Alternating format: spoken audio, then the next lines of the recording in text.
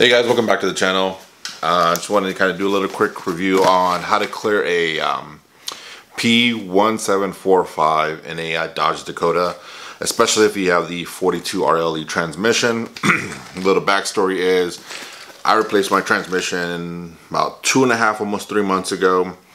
I got home and then I had a check engine light come on. So I grabbed a regular scanner, which is one of these, and I'll show pictures of it on the corner probably up here somewhere.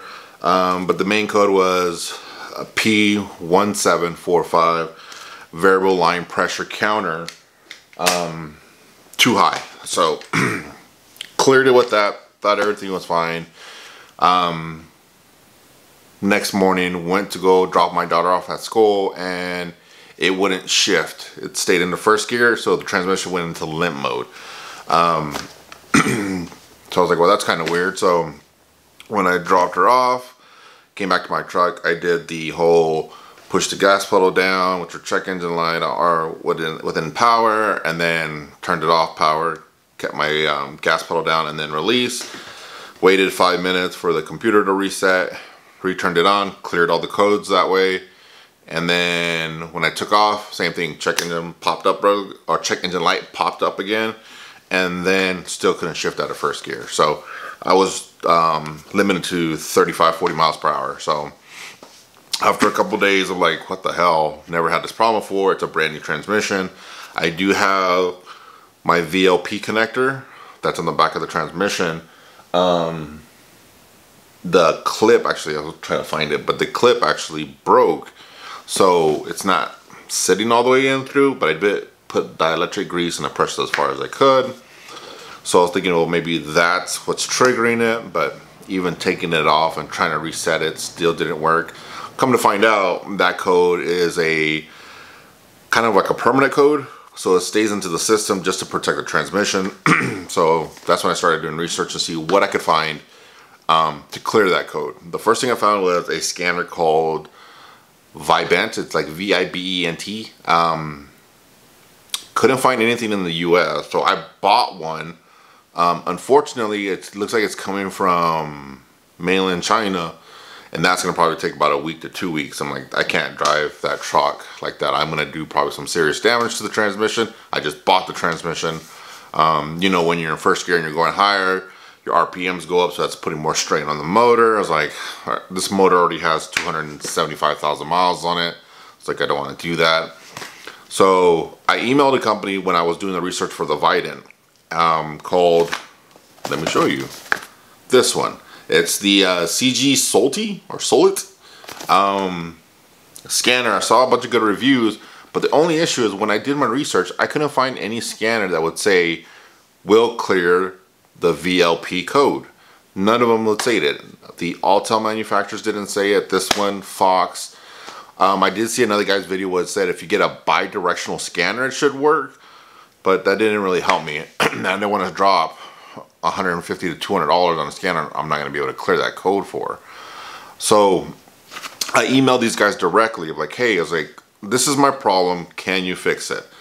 So it took them like four days to get back to me, but they did get back to me. They're like, yep, they showed me the screenshot, and I'll probably, if I can, I'm gonna put the screenshot in this little corner of what they said, or what they said, um, what they um, what they showed me. Right? They said that they can clear that code. Perfect. So these scanners here are um, manufacturer specific. So this one is for Chrysler, Dodge, and Jeep. I believe from 1996 to 2019, which is good because I have a 2018 Dodge Durango. So if anything happens, I can use this scanner on. And oh my God, like, granted, I'm not a like a actual mechanic. I'm a pharmacy tech by trade. Um, so I don't I don't deal with a bunch of scanners, but you know what? I got the scanner. Looks cool. Looks like just a normal scanner. I still got the screen protector on it. The buttons feel good.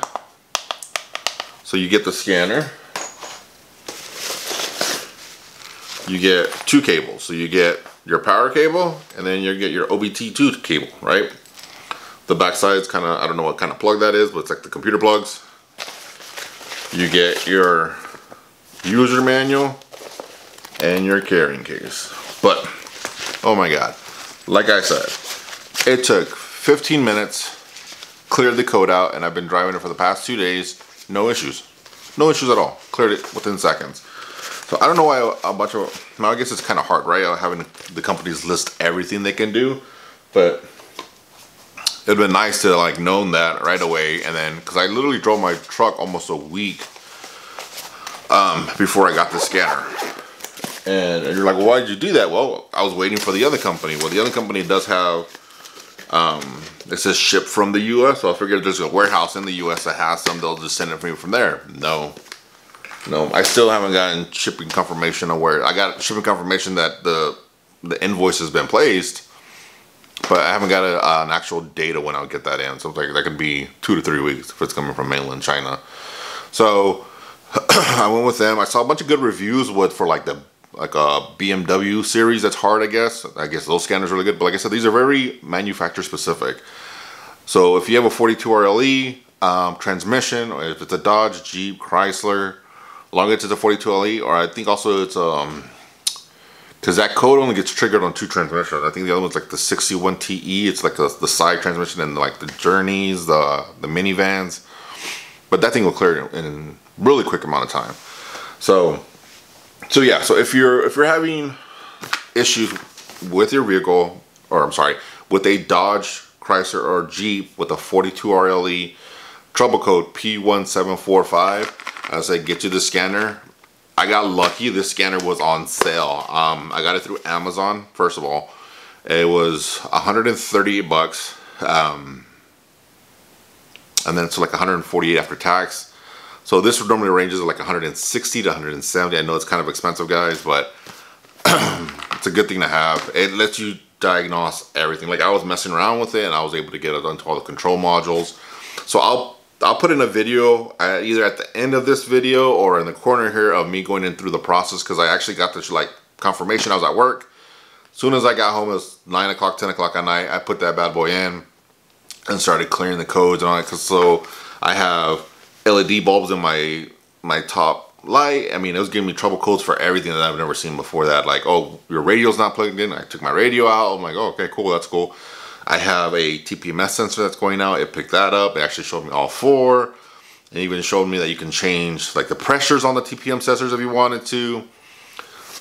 Very simple. Like it says, it does a quick scan, get your VIN, your make, your model, and then you go into either OBD2 or you go into um, another screen to the right, which was like specifically for all the other trouble codes. So I went to that one.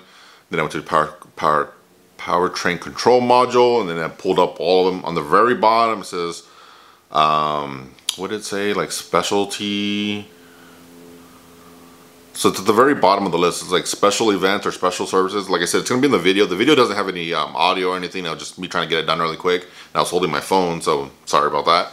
But at the very bottom, it pulls it up, and then you go all the way down, and sure enough, sure as shit, it says VLP, P, you know, variable line pressure code counter reset. So I cleared all those codes, and like I said, it was a fucking god saver. Um, yeah. So if, like I said, if you need to clear that code, get you one of these. It is kind of expensive. Um, if you have any questions, leave them in the comments below. Um, I'll try to get to them as soon as I can. Um, hopefully this helps somebody. Like I said, I looked online and I couldn't have, I couldn't find anybody. Like I saw guys clearing the codes, um, but they weren't talking about what kind of scanner they used. Like, like that was my biggest thing. Is like, do, does every bi-directional scanner work? Because if not, you can get a Fox, which is an Amazon product, which is a lot cheaper. But I don't know if it's gonna actually do that special code. But anyways, so yeah. If you guys have any questions, leave them in the comments below. Thanks for watching. See you guys there. Bye.